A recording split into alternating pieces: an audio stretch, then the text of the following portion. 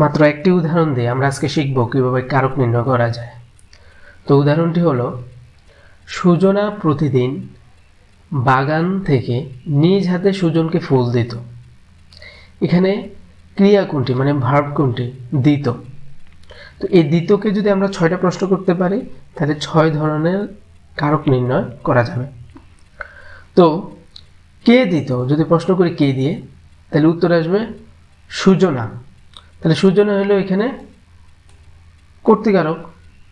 তারপর কি দিত?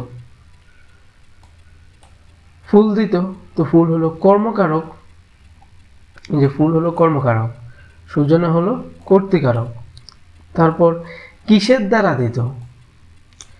তো কিসের দ্বারা প্রশ্ন করলে? নিজ হাতে দিত, তাই না? তো নিজ হাতে হবে করণ কারক কাকে দিত? সুজনকে দিত। এটা হলো সম্পাদন কারক কোথা থেকে দিত? বাগান থেকে দিত। এটা হলো অপাদান কারক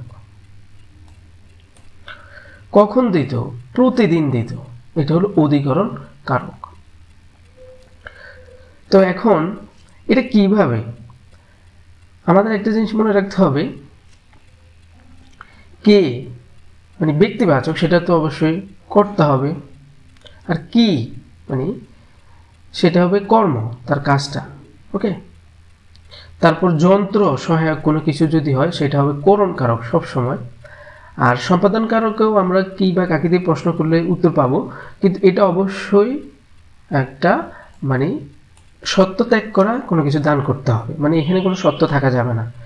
সত্য না থাকলে সেটা হবে সম্পাদন সত্য যদি থাকে, তাহলে সেটা হবে কর্মকারক। আর কোথা হতে সেটা যদি হয়, সেটা হলো অপাদান। আর স্থানকাল সময় যদি বোঝায়, তাহলে এটা হবে অধিকরণ ঠিক আছে? তো এইগুলোর জন্য আমরা এই ছয়টা প্রশ্ন মনে রাখতে হবে। তাইলে আমরা কারক নির্ণয় করতে পারব। তো কারক নির্ণয় করলে তো হবে না কারকের সাথে আমাদের বিভক্তিও নির্ণয় করা লাগে। তো সাতটা বিভক্তি রয়েছে। প্রথম বিভক্তি হলো শূন্য, দ্বিতীয় হলো কেড়ে তৃতীয় হলো দ্বারা দিয়া কর্তৃক, চতুর্থ হলো আবার কেড়ে পঞ্চমী হলো হতে থেকে চেয়ে ষষ্ঠী হলো র এর সপ্তমী হলো এ হতে তো, এই বিভক্তিগুলো কীভাবে হয় দেখেন? যেমন, মা শিশুকে চাঁদ দেখাচ্ছে। এখন, চাঁদের নিচে আন্ডারলাইন করে বলবে, চাঁদটা কোন কারকে কোন বিভক্তি? ঠিক আছে? তো এখানে আমরা ক্রিয়াকে আগে আইডেন্টিফাই করতে হয় ক্রিয়া হলো আমাদের কি? দেখাচ্ছে, তাই না? তো দেখাচ্ছে। তো আমরা প্রশ্ন করব চাঁদ। কি দেখাচ্ছে? তাই না? মানে কি দেখাচ্ছে? প্রশ্ন করলে যদি আসে চাঁদ তাহলে সেটা কর্ম। কারণ আমরা এখানে জেনেছি, কি দিয়ে প্রশ্ন করলে যেটা পাওয়া যায় সেটা হলো কর্ম। তাই না? কী দিয়ে কী দিয়ে প্রশ্ন করলে যেটা পাওয়া যায় এটা হলো কর্ম। তাহলে আমরা যেহেতু এখানে পাচ্ছি, সেটা কর্ম। এবং এটার মধ্যে কোনো বিভক্তি আছে কিনা আমরা দেখব। আমরা দেখছি চাঁদের মধ্যে কোনো বিভক্তি নেই। মানে এটা শূন্য বিভক্তি। তার কারণে এটা হলো কর্মী শূন্য। ওকে তারপর হলো পাপ হইতে বিরত হও। তো আন্ডারলাইন করা যদি থাকে পাপ হইতে এখানে আমাদের হও হলো ক্রিয়া। আমরা যদি এখানে প্রশ্ন করি, কোথা হতে?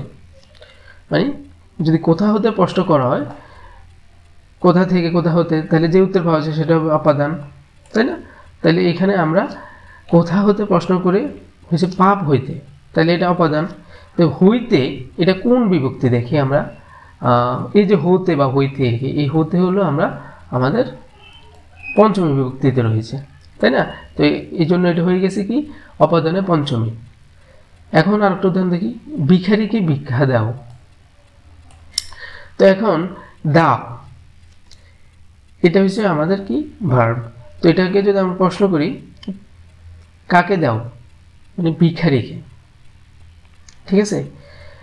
বা, তো আমরা আরেকটা জিনিস মনে রাখতে হবে, যদি এটা দান হয় এবং সত্য ছাড়া দান হয়, তাহলে সেটা অবশ্যই সম্পাদন কারক হবে। এটা নিয়ে কোনো টেনশনের কিছু নেই সম্পাদন কারক হবে। তো ভিখারিকে যে ভিক্ষা দিচ্ছে, এটাকে আমরা আবার ফেরত নিব বা এটার কোনো উদ্দেশ্য আছে? উদ্দেশ্য নেই, এটা আমরা এমনি দিচ্ছি। যার কারণে এটা সম্পাদন হবে। আর এখানে যে কে, এই যে এখানে কে, ইয়াটা রয়েছে, বিভক্তিটা রয়েছে, সেটা এখানে চতুর্থী। কেন এটা চতুর্থী? এটা তো আমাদের কে তো দ্বিতীয় আছে। মনে রাখতে হবে সম্পাদন যদি হয়, তাহলে সেটা চতুর্থী হবে। আর সম্পাদন না যদি হইতো, তাহলে এখানে কে থাকার থাকলে সেটা আমরা দ্বিতীয় দিতাম। তাহলে আমরা বুঝতে পারলাম কীভাবে কারক এবং বিভক্তি নির্ণয় করা যায়। তো আমাদের এই বিভক্তির যে চারটা রয়েছে, সেটা অবশ্যই আমাদের মনে রাখতে হবে। তারপর আরেকটা জিনিস মনে রাখতে হবে, এই যে আমাদের যে সেন্টেন্সটা থাকবে বা যে উদাহরণগুলো থাকবে, সেটার ভার্বটাকে সেটা নির্ণয় করতে হবে। সেই ভার্বকে আমরা এই ছয়টা প্রশ্ন করা জানতে হবে। কে, কি, কীভাবে বা কিসের দ্বারা, আবার কি, কোথা হতে এবং কখন? এই ছয়টা যদি আমরা প্রশ্ন করতে জানি, তাহলে আমরা কারক নির্ণয় করতে পারব। আশা করি বুঝতে পেরেছেন। তো এই পর্যন্তই।